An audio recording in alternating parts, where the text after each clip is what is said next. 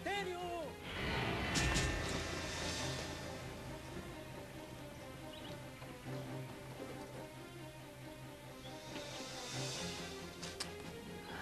Ay, canijo, Eleuterio, ¿dónde estás?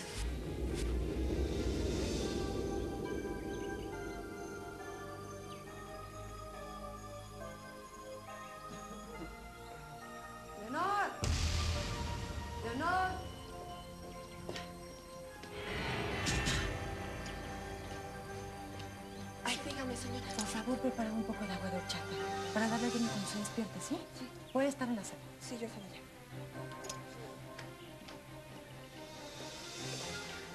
Diana, ¿Cómo te sientes, eh? ¿Cómo estás? mejor. Bueno, Diego ya está en la casa. ¿Mm? Voy a avisarle que ya estás despierto.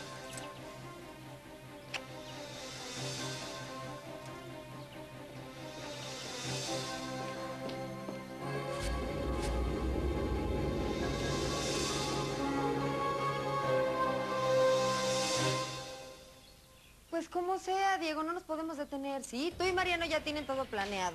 Si necesitamos café gourmet, pues bueno, vamos a conseguirlo en otro lado y ya. Es que no es solo eso, Paloma. ¿Qué va a pasar si perdemos los cafetos, las plantas? Ay, ¿por? Pero... Ya está despierto. Vamos, Paloma.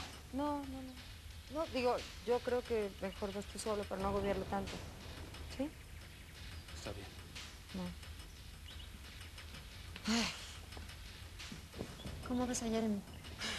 Pues agotado, pero, pero mucho mejor. Pero lo que me preocupa es que con todo lo que está pasando, pues no puede estar tranquilo. No, pues no, es normal, pero tú tranquila, ¿sale? Sí, pero... Uy, miren a quién me encontré llore y llore. Hola. Ven acá. Al rey de la casa. Ven acá. ¿Dónde creen que me lo encontré? ¿Dónde? Chille, chille en la cocina. ¿Cómo? Le hizo un corralito en la cocina. Dice que no se quiere despegar de él, pero ahorita estaba llore y llore. Pues es que pobre niño. Pues sí, sí, después de lo de Matilde y todo eso. que ¿no? Y además me contó el honor, ¿eh? Pobrecito. Ahora sí tenemos que tener bien cuidadito, ¿verdad, mi amor? ¿Qué pasó? No, horchata. Ay, aquí estás, ¿verdad? Llora todo el Te tiempo. lo voy a llevar porque ya tienes hambre, ¿verdad, mi amor? Sí, pues con razón está tan grandote. Tú le vas a comer todo el día. Come todo el día. Es un niño saurio, tiene unos hoyitos Ay, Dios. Miren, si se dan cuenta, todo este pleito empezó por la tontería de querer ganar la competencia, de tener al heredero de los Sánchez Serrano. Sí. Y fíjense, resulta que el heredero de los Sánchez Serrano es hijo de nuestro queridísimo Miguel y de nuestra amiga, que bueno, que en paz descanse. No, será tu amiga. No, no, no, la Daniela, Daniela de es su ya deja de decir tonterías, ¿no? Por favor. Ah, hombre, no te lo tomes tan en serio, no te enojes, es la verdad, punto. Hay que saberse reír de sus propios Digo, además no importa de quién sea hijo, ¿no? Porque bueno, su verdadero papá y el único es Diego, ¿cierto? Cierto. Bueno, y además... tía, ¿eh? Bueno, sí, ustedes son sus No, tías, yo sí. soy tu tía. ¿Saben qué? Mejor me lo voy a llevar. Está muy inquieto. Yo creo que tiene ¿Tiene calentura, en Oye, serio? Sí está, sí, yo también lo sentí un poco.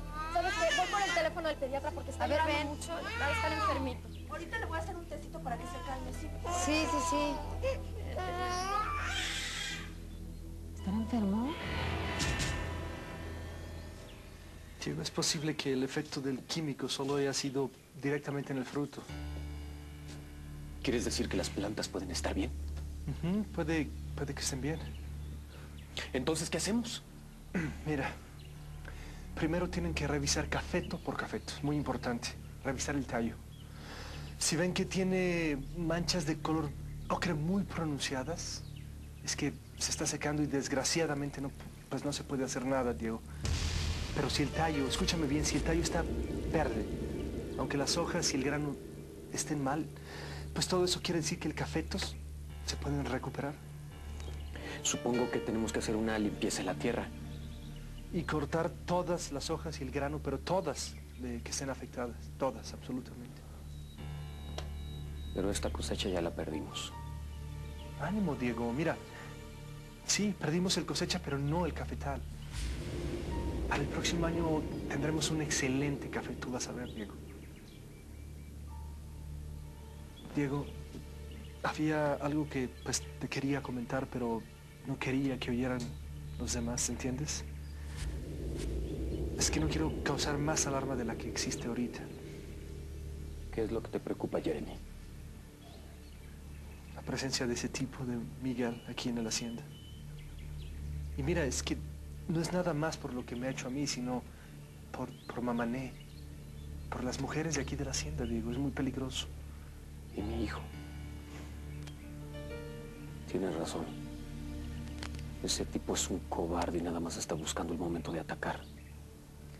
De alguna manera tenemos que buscar el solución para detenerlo, Diego.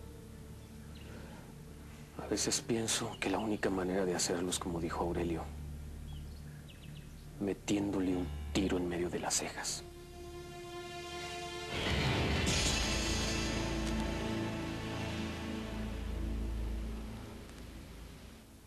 María Mercedes, ya te dije que no quiero flores en la casa.